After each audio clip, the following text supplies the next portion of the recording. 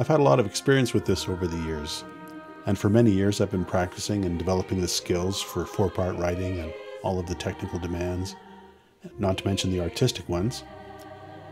I suppose the biggest hymn writing project I've done was about 15 years ago. I made the acquaintance of Orson Scott Card online. And Scott has written many, many hymns over the years, which he shared with me, and we collaborated together, finally producing a book with about 55 original hymns that he and I did together. So occasionally people contact me and have me help them with their hymn writing project. Here's an example from a sister who's an experienced musician. She had written the words for a hymn and written the melody and even written it down. Sometimes people just send me recordings of themselves singing a tune. But in this case, she sent me her melody. She wanted me to do a harmonization and, and create a score that looked professional. So I take that and start to work with it.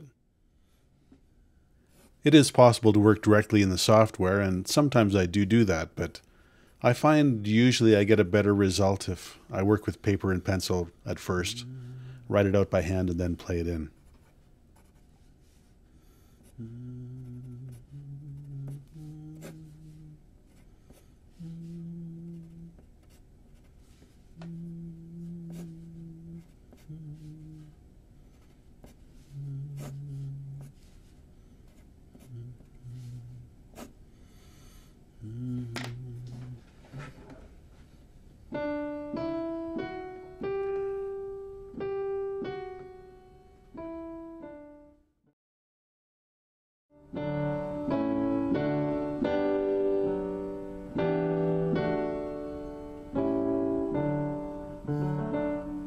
I'm doing a fairly traditional harmonization here, which is what was wanted, and really it's what's wisest and most effective in most cases.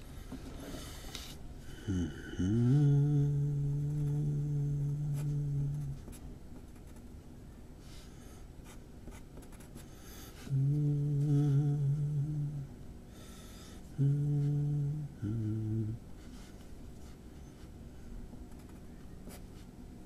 This process here that I've abbreviated quite a bit is one that it really takes years and years to develop the skills to be able to do.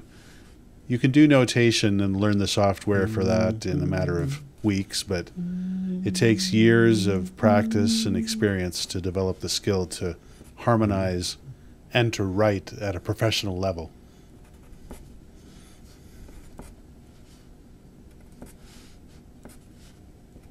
One detail you might notice I've changed is the key of the piece.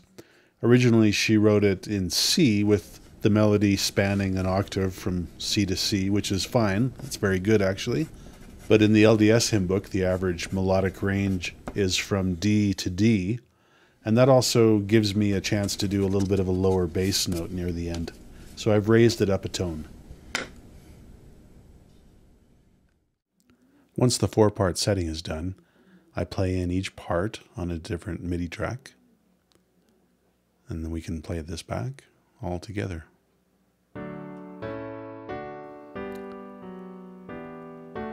So now I prepare the MIDI for scoring.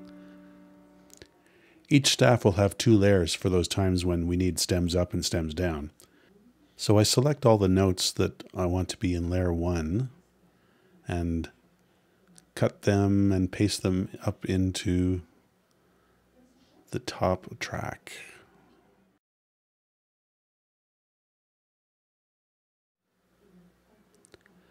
So there we go. Do the same thing with the tenor and bass. You see there's just there's one note there that's a unison, so that'll be stems up and stems down, and also one case where there's a different rhythm. Paste the layer one notes up there. And now we're ready to export a MIDI file and bring it in to Finale. So now we'll open up Finale. I've taken a previously created hymn score and erased all the notes to use as a template. It's already formatted the way I like. So we'll open up the MIDI file we just created. And there it is.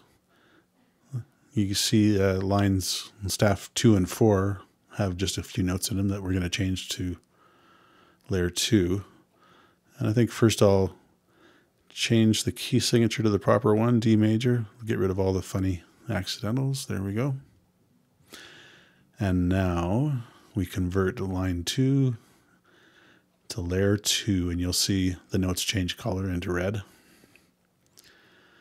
And I'll do the same thing for staff four.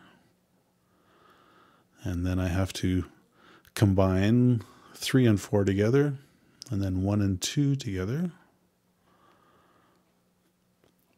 And then just delete line two and staff four as well.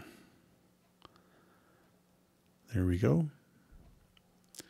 And I just select my notes, copy, go into my template, paste, and there we have all of the notes. Now, converting into layers has given us some rests in layer two that we want to hide. So we'll just go through and hide those. And as well, it's inverted some of the uh, staff, the stem directions. So I'll fix those. So here are the lyrics. I've already gone through and formatted them with uh, hyphens to separate syllables. I just start clicking on each note and it adds the next syllable. It's a fairly quick process. So I'll go through and do all three verses that you can see here.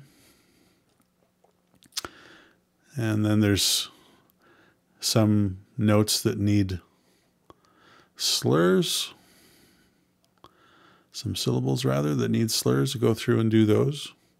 It's one of the last things. I can also adjust the positioning of all the lines and and uh, some other formatting things. And then here we have the finished score. Now, from beginning to end, that whole process took me about two hours. So, for the price of a few piano lessons, she got a professional looking and sounding score and was very, very happy.